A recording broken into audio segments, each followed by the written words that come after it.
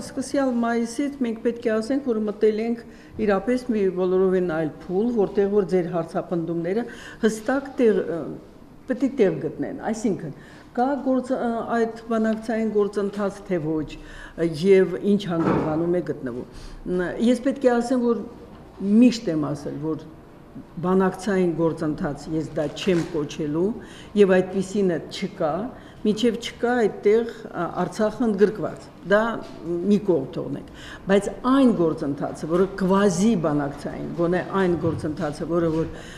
պետք է ասեմ ամենաշահագրգիր մոտեցումը ցուցաբերել է միշտ Մինսկի խմբի բոլոր անդամները, ահա այդ գործընթացը իրապես ճգնաժամ ապրում։ Պետք է ուղղակի արձանագրենք, որ Մինսկի խմբի կողմից այս տարիների ընթացքում այս գործընթացը անունը ինչ էլ դնենք, այսօր ապրում է ճգնաժամ։ Եվ ճգնաժամի մասին խոսում է ոչ միայն, ասենք, այն, որ չկա այսօր պայմանավորվածություն որևէ հանդիպումների մասին, երկու պետությունների հանդիպումների մասին, այլև շատ համեստ եւ շատ զգուշավոր են եւ Մինսկի խմբի անդամների հայտարարությունները։ Կփորձենք, ձգտում ենք, անում ենք Այսինքն ճգնաժամը արկա է։ Երկրորդը, արդյոք մենք այս ճգնաժամը բերում է ինչ որ նոր սպասումներ կամ տալիս է արդյոք ժամանակ նոր մոտեցումներ ձևակերպելու համար։ Փաստորեն սա պետք է հարցը մեզ հուզի։ Այսինքն ցանկացած գործընթաց, երբ որ ունենում է հատված է կամ ինչ որ մի պահ դադարեցվում է կամ նոր փուլ պետք է սկսվի, հստակ պետք է հասկանանք, որ կողմն է ինչպես օգտագործում եւ ինչի համար։ Ահա այստեղ է ինձ համար գոնե པարզ հետեւյալը, որ կարծես թե ապրիլյան այս ողբերգությունը որոնց որոշ մարդկանց համար եւ խմբերի համար եւ հանցագործությունը Ադրբեջանի կողմից ես այլ ձև չեմ կարող բնութագրել դա իրոք հանցագործություն էր Ադրբեջանի կողմից եւ այդ հանցագործության պարզաբանումները եւ քննությունը դեռ արխիվում է։ Դա ահա այստեղ մի բան կա։ Պարզվել է վերջնականորեն, որ Հայաստանը, ինչպես այդ հանդիպումների կողմ եւ Ադրբեջանը մի մազաչափ անգամ չեն փոխել իրենց մոտեցումները եւ եթե հայկական կողմի մոտեցումները եղել ու մնում են հեղ-հեղուկ հայտարարությունների ներքո ունենալով բոլորովին այլ փաստաթղթերի փաթեթ, որտեղ այդ նույն տարած, տարածքների մասին, որոնք որ թեթև ձերքով մեր բոլոր իշխանավորների առաջի դեմքերի երեք նախագահների ստացել են անհասկանալի բնութագիր անվտանգության գոտի լինի, հսկողության ներքո գտնվող հողեր լինեն, դրանք կրկնում եմ, ունեն մեկ հստակ ձևակերպում։ Դրանք այն տարածքներն են, որոնք միշտ օրինական օրինակ ձևով պատկանում էին Արցախին եւ վերաինտեգրվել են, վերամիավորվել են 92-94 թվականին Ադրբեջանի կողմից նախաձեռնված ագրեսիայի ընթացքում ագրեսիայի ավելի շուտ այսպես հետ մղելու ընթացքում հաջողվել է ընդամենը մեկ մասը այն տարածքներից, որոնք որ ազգերի լիգայի կողմից ճանաչվել են որպես սկզբից վիճելի եւ հետագայում պատկանող Հայաստանին, այդ տարածքների ընդամենը մի մասն է հաջողվել մինչև 94 թվականը վերամիավորել Արցախի հետ։ Սա է կարգավիճակը։ Որևէ մեկը ինչ չի կարող ասել, որ մոտիկ անգամ դրան նման նմանվող որևէ անգամ բնութագիր է տվել մեր իշխանությունները իրար կարծես թե փոփոխվա փոփոխող բայց այդպես էլ անդրտվելի մնացած այն հարցում, որը վերաբերվում է Արցախյան այդ տարածքներին։ Իդեպ ես այստեղ չեմ էլ ուզում հակադրեմ միավոր միացյալ Հայաստան է, Արցախ հանրապետությունը առանձին է, կներեք այստեղ այդ խնդիրը չի դրված Սա տակտիկական եւ ստրատեգիական այս ռազմավարության եւ մարտավարության խնդիրներ են եւ այստեղ ամենևին տեղին չէ դրանց դրա մասին խոսել։ Հստակեցնենք, որ հայկական կողմը հանդես է գալիս հեղ-հեղուկ որևէ մի ճշմարտությունը մոտ կանգնած եզրույթ չի տալիս եւ այն բորբոքված որոշ մեր պաշտոնատար անձանց բորբոքված ելույթները որ այդ ովքեր են խոսում տարածքների բազմաթիվ փաստաթղթեր կան հիմա այդ այդքան ասուլիսներ կան այդքան հարցազրույցներ կան տված առաջի դեմքերի անունից այդ ի՞նչ մի քննության են ուզում մեզ նորից առնել Ես հասկանում եմ, որ լայն հանրությունը կարող է ծանոթ չլինի այդպիսի, բայց կա փորձագիտական համայնք, եւ այդ համայնքին քաչատեղյակ է, քաչատեղյակ է այդ համանքը, այդ բոլոր հարցազրույցների մասին եւ հայտարարությունների մասին։ Եվ վերջապես, եթե ոչ մի բան էլ չի եղել Կազանի մասին, ես եմ դες լուրը տվել, որ համաձայնվել են ինչ որ Ես տեղյակ չեմ եղել։ Ես ձեզ նման տեղեկացել եմ իշխանությունների կողմից։ Այնպես որ այդ ազնվական բորբոքումը ամենևին տեղին չէ, եւ հասցեական չէ դա ոչ թե պետք է վերաբերի այն անհանգստացած հիմնավոր անհանգստացած խավին, որը ստորագրահավաք է, սկսել է Շուշիում ամսի 16-ին հուլիսի շարունակել է այստեղ այդ հավաքները բոլորովին այդ հասցեով չէ որ պետք է հնչեն այդ այսպես կոչված կրքերը կրքոտ բորբոքումները ամենևին տեղին է անհանգստությունը այդ թե լինի փորձագետների, թե լայն հանրությանը, ամենևին տեղին չէ խոսել նրա մասին, որ մենք խաղաղ միայն միջոցներով ենք ուզում լուծել։ Իհարկե խաղաղ միջոցներով ենք ուզում լուծել։ Խոսքը գնում է գնի մասին։ Մենք ինչ ենք դնում սեղանի վրա։ Արդյոք մենք ունենք որևէ մոտեցում, որը գալիս է փոխարինելու, ուղղելու վերջապես և, հիմքերի մեջ նոր կետեր դնելու այն հիմքերը, որոնք որ շարադրված են մադրիդյան սկզբունքներում։ Ոչ այդպեսինը չկա։ Հակառակը, երբ որ մեզ ասում են, որ հիմա նոր իրավիճակ է ստեղծվել, ավելի դրական է, Ես հիշում եմ կարծեմ պարոն Շարմազանով։ Իհարկե դրանք հիմնված են մադրիդյան սկզբունքների վրա։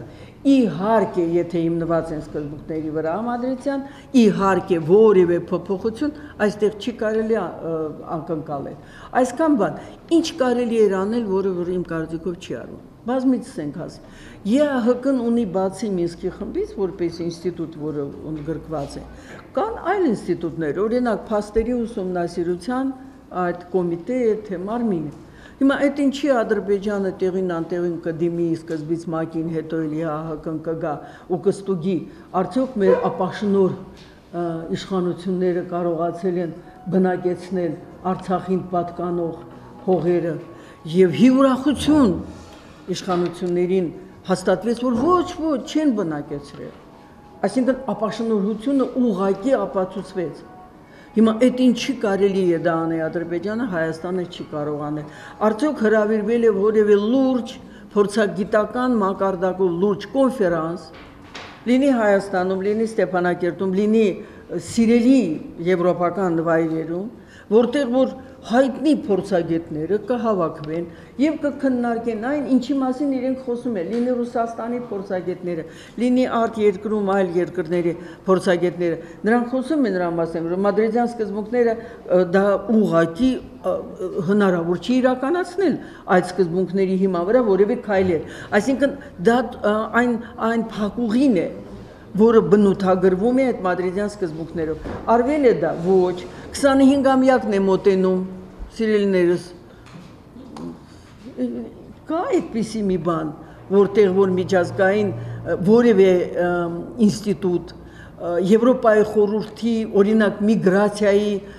հարցերով զբաղվող հանձնաժողով հրավիրվել է արդյոք երբևէ Հայաստան այստեղ քննարկելու այդ հարցերը, որ վերջապես հնչեցվեն եւ հայազգի փախստականները Ադրբեջանից, որոնք սփռված են այսօր աշխարհում մեկ։ Ոչ, այսինքն մենք տեսնում ենք, որ ելի մենք 25-ամյակը ինչ-ինչ միջոցառումներ, ասում են ինչ որ էլ մեծ գումարներ են ծախսվում, չգիտեմ ինչի վրա։ Ես ճիշտն ասած միշտ քիչ եմ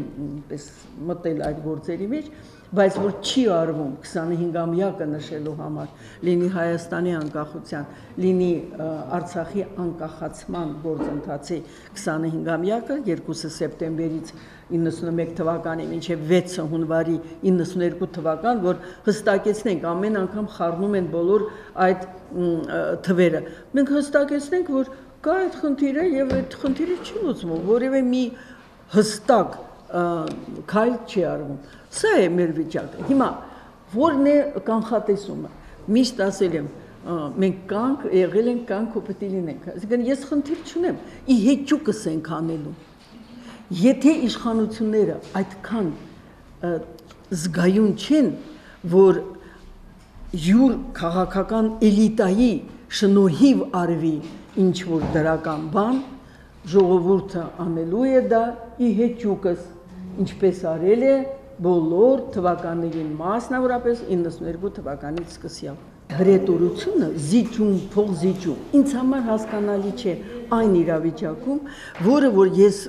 տեսնում եմ տարիներ շարունակ եւ նույն հրետորական հարցով հանդես եմ գալիս։ Լսել եք որևէ մեկ անգամ Ադրբեջանի կողմից որևէ զիջումների կամ փող զիջումների մասին։ Եթե լսել եք սիրով,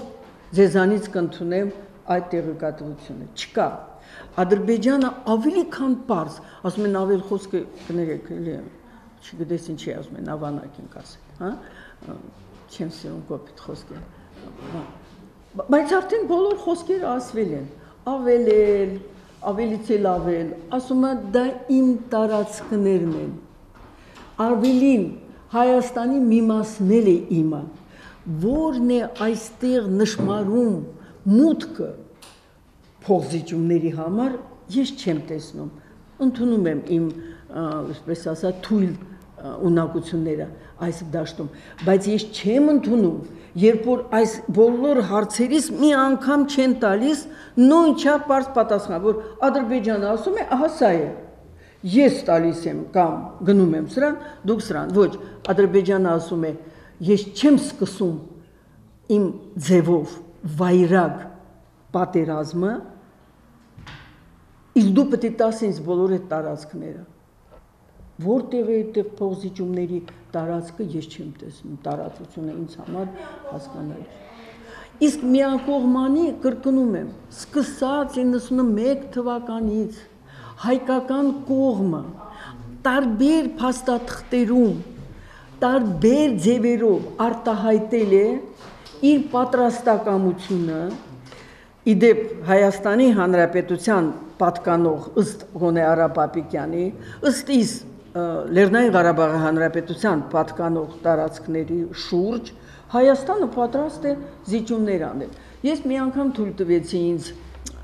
պես կատակ, ասեցի հետո որ ուզում է տարածքը զիջի, թող իր բնակարանը տա։ Ըստ դա Հայաստանի Հանրապետությունը այսօր իր հայտարարված սահմաններով որևէ իրավունք չունի խոսել այլ տարածքների զիջումների մասին։ Ճիշտ եմ ես արտահայտում, ուզում եմ մենք հասկանանք։ Ես հասկանում եմ մարդիկ կան որ ասում են միացյալը Հայաստանը մի բան էլ, բայց դե յուրե ճանաչված հանրապետությունը Հայաստանի ո՞րն է այն սահմաններում, որոնք նկարված են եղել սովետական միության։ Ինչ գործ ունի կամ ինչ իրավունք է բանացնում այդ Հայաստանի Հանրապետությունը այլ տարածքների զիջումների մասին խոսելու։ Ինձ համար դա ընդունելի չի։ Այսինքն ստացվում է, որ Ադրբեջանի այդ կրկնում եմ վայրագ գործողությունները պետք է տեղի ունենային արդյոք, որ սկսվեր ավելի ակտիվ, ընդ որում իմ խոսքերը չեն, ասում են, որ ասվել է այն խմբին, որը գնացել է, որ այս ամիսների ընթացքում արվել է ավելին, քան նախորդ, չգիտեմ, քանի տարիների ընթացքում։ Ինձ համար եւս դա տրամաբանությունից դուրս է։ Ուրեմն, եթե գոնե մեկ անգամ Ադրբեջանի կողմից անգամ Հեյդար Ալիևի ժամանակ հնչեցվեր այն, որ պատրաստ են բանակցելու այն վիճակով, որով որ 94 թվականին մենք գտնում ենք հաղթական իրականում անհասկանալի մի իրավիճակում կանգնեցված գործողությունները, ես էլի հույս կունենա, որ մենք մի բան այստեղ ունենք, մենք ճունենք տարիներ շարունակ Ադրբեջանը բոլոր հարթ- հարթակներից նույն բանն է ասել։ Ես եղել եմ ընդգրկված ամենատարբեր մակարդակներով եւ երբևէ չեմ լսել, որ Ադրբեջանի կողմը մի անգամ գոնե ասի, որ ազատագրված տարածքները երբևէ չէ բնակեցված են եղել հայերով։ Այնինչ հայտնի է, որ 18-19 թվականներին մի քանի շաբաթվա ընթացքում 40 հայաբնակ յուղեր են ոչնչացվել, մորթվել այն Խարվաճար կոչված տարածքում։ Իդեպ այն, որ այդտեղ տեղի չեն ունեցել ակտիվ գործողություններ մարտական, բացատրվում էր դրանով։ Մեծերը դեռ հիշում էին դա։ Եվ այն ահուսարսափը, որը իրենց մեջ եղել է, դա այն մնացորդային ահուսարսափն է։ Թուրքերը Ադրբեջանի լավ հիշում են իրենց հանցագործությունները։ Դա հայությունն է, որ մոռացել է։ Եվ դրա համար են հնչում նու այն բաները, էս մեր հայրենիքն է, թե մերն է այն մեր հայրենիքն է, դա չիմացության, ես խոսքը դիտամ։ Չիմացության արդյունք է։ Որն է իրականում մեր հայրենիքը։ Եթե մենք սկսում ենք դրանից, որ մեր պաշտոնատար անձինք չգիտեն մեր հայրենիքը, ընդ որում ոչ թե պատմական, իդեպ պաշտոնատար անձանցից մեկը, որը հիմա ասում են նորից վերադառնում է մեծ քաղաքականություն, ժամանակին իմ հարցապնդմանը, որ քարտեզը սա է, ինչու է ցույց տալիս այն խոճուճ լղիմը, ինձ բերեց պատմական Հայաստանի քարտեզ արդյոք ասեց Տիկին Լարիսա դուք հիմա էլ սա եք պահանջելու ոչ ես դա չեմ պահանջելու ես պահանջելու եմ այն ինչ որ 18-20 թվականների արանքում մեզնից խլվել է բռնակցվել է նորածին մի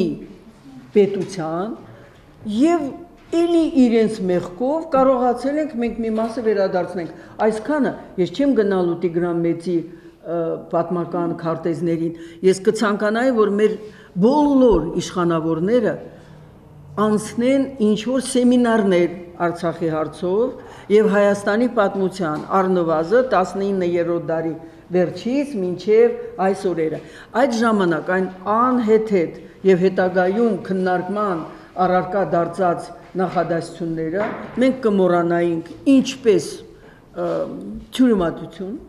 եւ կանցնեինք լուրջ քննարկումների։ Մի հատ մտածենք ինչ անենք, եթե 91 թվականին ստորագրել է Հայաստանը ԱՊՀ երկրների մասին պայմանագիրը, որտեղ խոստանում է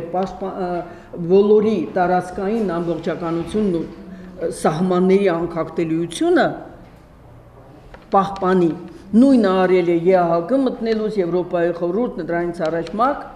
մտածենք սրանից ոնց դուրս գանք սա պետք է դառնա լրագրողների հարցերից հարցը հասկանանք եթե դա ստորագրված է թե 94 թվականին Բիշկեկի արձանագրության մեջ գրված է հայկական ուժերը պետք է դուրս հանվեն ԼՂ շրջապատ շրջապատող տարածքներից ոնց պետք է դրանից դուրս գանք ով է ստորագրել Տիկին Ալավերձյան Հասկանանք դա ինչ ենք անում վերջապես։ եւ թերևս